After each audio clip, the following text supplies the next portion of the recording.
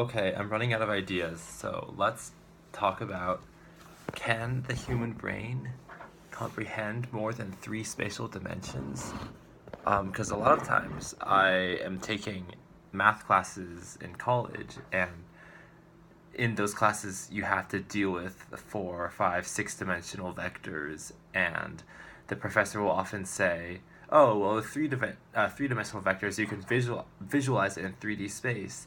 And it's really easy to do math, but once you get to the fourth dimension, oh, you must be like a genius to visualize these things. So instead, we gotta just, you know, follow the patterns and I guess like deal with variables instead of 3D space, and we should be good to go. Though that's not as fun because variables don't like look pretty. Uh, so I feel like it is possible for a human brain to understand, like visualize more than three dimensions, but it would take a long time to get there. So here's what I'm thinking. Uh, the way a human brain visualizes anything is just by having a certain set of neurons firing or maybe uh, strengthening strengthening the connections between them. I, I, okay, I'm not a neurologist, so I don't know the details, but it is some chemical structure in the brain that makes us able to visualize, say, like a triangle. Like if I just say the word triangle, you can see a triangle in your head. Oh, this is a tangent, but some people have this a disorder where they can't see that see images in their head, but they're still completely functioning people, which is pretty interesting. But anyway, um, we store information of like images somehow by way that by the way the neurons are arranged in the head, and think about how a computer is also like that in a certain way because there are trillions of bits that are either 0 or 1 and the way that we can make sense of those bits is by relating them by having pointers pointing between them. So if we want to have the computer understand a 2D array or let's just say a 1D array then well there's a certain way in which a 1D array would be notated um, within a file on the computer. So here's the interesting thing. Computers can visualize, or uh, visualize isn't a good word, word. they can uh, represent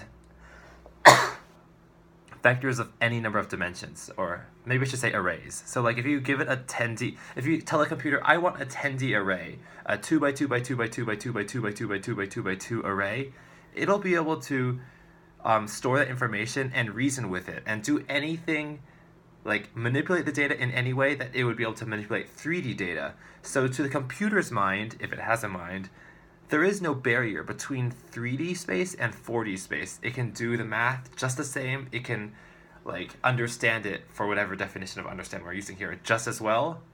So, what does this have to do with human brains? Well, the thing about computers is that we can program them very easily. If we come up with a new way data can be stored. We can just flip a few bits, we can move a few pointers, and the computer now has more capability than it did before. We can't um, manipulate our neurons as uh, precisely. So if we, you know, like if we wanted to have a single neuron change the direction it's pointing, we can't do that. Um, and the only way we really learn stuff is a very brute force, general, and like blunt approach. Is is just by like well, I guess looking using your senses to um, look at things from the world and see it over and over and over again until our neurons discover patterns and then we'll like hope those patterns uh, repeat in the future. So that's very inefficient because you have to see things multiple times. But what if we had technology that was uh, this video is gonna take up all my space on my phone. But what if we could rewire our neurons on the fly exactly how I wanted, um, could we store 4D arrays the same way a computer can? Now here's another uh, important point that I have to make. Just because we live in a three-dimensional universe doesn't mean that our perception of the universe has to be 3D, because our perception of the universe is not the same as the universe itself. One good example of that is um, the fact that we can't detect dark matter or dark energy, but that's a little like Spooky. So, another way to think about it is the universe is three dimensional, at least as far as we can tell. But we don't have three dimensional vision.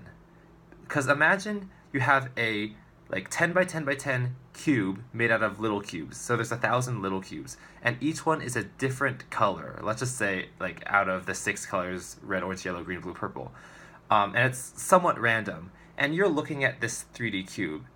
You cannot have like just looking at it once, you can't tell like individually what all the 1000 cubes are because some are in the middle, right? And you can't see inside of this cube because it's like packed really tight.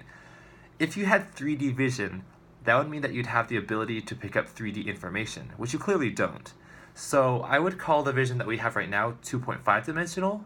So that's already different from the universe's true three dimensions. So I guess that's just uh, me trying to prove in some way that our perception can differ from the universe's true state, which also means it can differ in the upward direction, not just the downward direction. I mean, also like when you like take drugs that like really change the way you perceive the universe, what you see might not be describable by the laws of physics. Like it, I guess I'm just trying to say, like your sensory experiences exist in a different space, in a different realm from actual calculatable mathematical truths about the universe. So all we have to do is program our brain like how a computer can understand four-dimensional arrays or whatever, and maybe we can actually uh, visualize four-dimensional math. And like this is like far in the future. Like I can't imagine this happening in my lifetime. But if it did, um, it would be so much easier to do certain fields of math like linear algebra. Uh, I can't really think of another one right now, like topology maybe. Um, like so many fields of math would be so much easier if you could visualize 10 dimensions at once. And well, one way to like really get accustomed to things is to experience it ever since you're a baby and like that nonstop. So imagine when your baby is born, you blind their eyes and then you hook up a computer to their I don't know um, visual cortex. Is that that what called the part of the brain that can sense vision? And then you feed it four dimensional input for whatever that means, and the brain is forced to cope with this information and make sense of it. And maybe after years and years of being pummeled with this data, the brain finally realizes, oh, hey, the data forms patterns in the fourth dimension. Like, it doesn't make sense if the brain tries to reckon with only three, dim- three dimensions. So, eventually, this baby will have four dimensional vision and won't understand a world with only three dimensions. Uh, this would be like a virtual universe of the most extreme sort, where like that baby would not be able to function in our world now. Um, I guess this is kind of like bleeding into the brain in a vat idea. But what this means is the baby is still human. So if this is the case, then the it is a human understanding the fourth dimension. And of course,